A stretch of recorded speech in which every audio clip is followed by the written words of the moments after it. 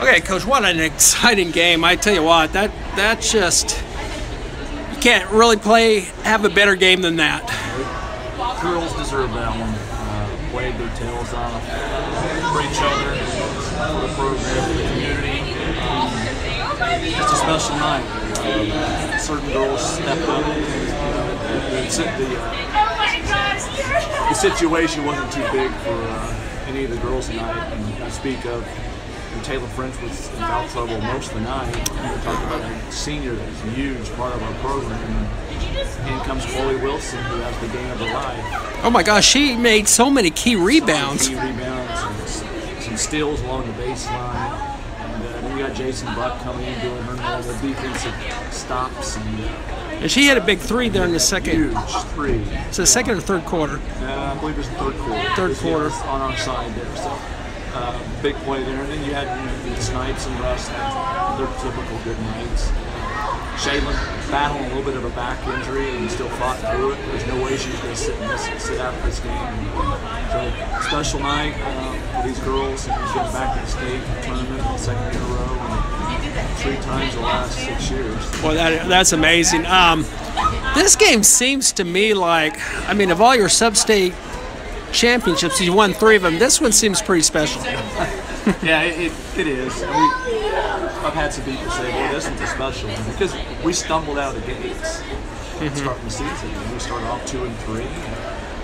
like I told many uh, of the media outlets, and we had the Christmas practices were as tough as they come. Uh, a lot of tears, a lot of sweat, lot of finding ourselves. And, uh, come, start off two and three. Now we're 17 and five. And what's the math there? 15 and yeah, 15 and two to, to uh, I believe that's right. 15 and two to uh, close up the year. So uh, the girls uh, bought into what we were doing and uh, what we had to change, and picked it up the first of January and, and never looked back. Well, you were down seven points, I think it was, midway through the third quarter. What exact did you do anything differently to get yourself back in the game, or it was just that just that kind of contest where it was just uh, a battle of wills? We got to seven. Um, there was a moment there we had a timeout. We, again, we had to just reiterate about the this game was about possession at a time. I know that's a coaching cliche, but we couldn't get caught up in winning the first quarter, winning the second, winning the third, and winning the game. If you get caught up in winning the game, sub-state championship game, you're going to find yourself trouble, especially against a ball like Roosevelt. So we preached winning each possession. At timeout, we're down by seven. We said, "This is your biggest possession. We've got to get his bucket." We did, and it was five, and then it was three. And, uh, just, you had it tied at that yeah, third quarter in. They, they, again, cut to the girls. and They just they listen to uh, the staff. And it's, it's not rocket science. It's just trying to win each possession, and the seniors we're demanding of all, of all the young the young girls on our team. And, uh, hey, this thing's far from over. Even if it's five, seven points, we're getting the next one. We're gonna get it away. We're gonna score on this one. Then we're gonna get a stop. Then we're gonna score. We're gonna stop. And, and that's what happened. Yeah, and then there near the end, it looked as if you were you had the four point lead there, and it just seemed like that had to wait to the very last second of the game again. that ball uh, Seminole put up at the very end, they tried to tie it. It was up in the air a, a long time. It's it just it's funny how all those line drills we do in November, all the conditioning, everything we put through to make this uh, the program that it is, uh, it comes down to that one play. Yeah. And that ball hanging up in the air like thank goodness on our side it, it, it didn't go in, and so again the girls were uh, heading back to us line. Yep. Four. You had two. Your both both of your seniors had four fouls going into the final quarter.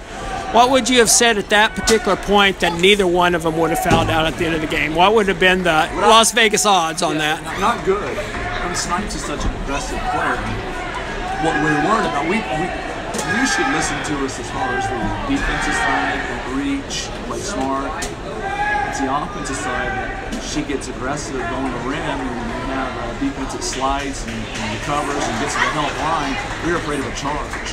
So we talked to her on that side. Yeah. It's got to be a clear pathway, but it's not got to pull up and hit the little mid-range jump shot. And, uh, thank goodness that she didn't get you know put in that position where uh, she fouled out. Two seniors uh, Yeah. through the game, and that was big.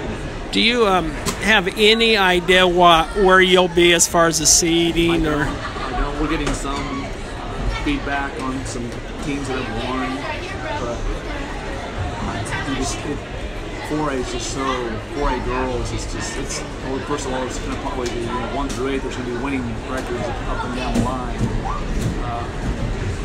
Possibly the worst record right now might be Abilene.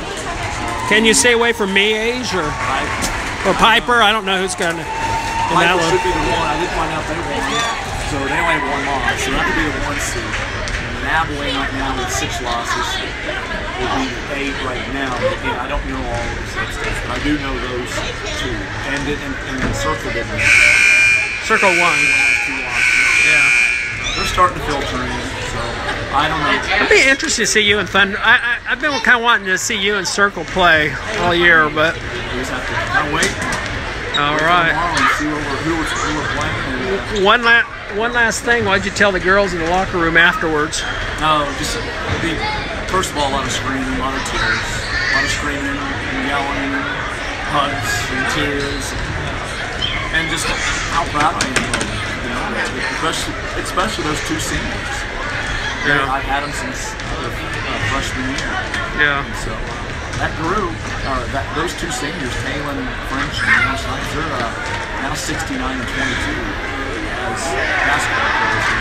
So they've really done just such a great job of representing our program, representing our community and school the right way. So the wins have come along with it, and that's always fun. Um, so, yeah. All right. Well, thanks, Coach. Congratulations. Thank you.